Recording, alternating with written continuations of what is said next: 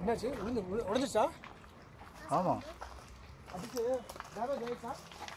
எடுத்த வீடு நிறைய இருக்கு சார் இதில் ஒன்று ரெண்டு மூணு நாலு இருக்குது